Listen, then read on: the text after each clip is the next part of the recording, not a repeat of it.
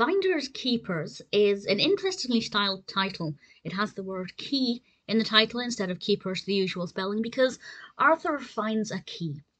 He finds it along with the brain and Binky, which is an interesting trio. It's not the first and only time we've seen them, but it's rare that the three of them are central to a narrative at any one time.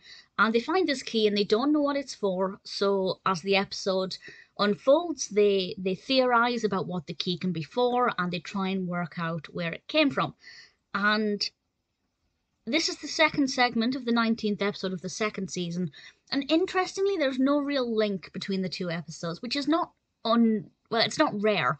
Um, but it's certainly not as common as usual. Usually there's a connection between the episodes, but this one feels a little bit more independent unless it connects to the first episode of the next the next episode. But honestly, connected or otherwise, I just didn't think it was that interesting. Yes, I was really curious to know what the key was, what it was for, and where it belonged. But the events leading up to that reveal, which I won't divulge, um, I won't say what it actually is for, but the events leading up to it I didn't think were that interesting. It was a good way to look at the contrasts between the three characters. I think Arthur, the Brain, and Binky have some similarities, but they're also very different and very unique in their own ways.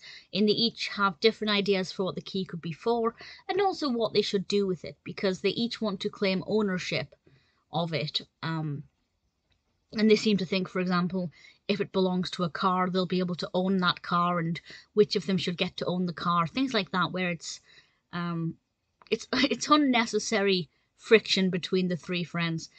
When it comes to the actual reveal, I didn't think it was as interesting as it could have been. Certainly, it was surprising, not what I had expected. Not that I know what I did expect. I hadn't actually predicted anything. But had I, it wouldn't have been that.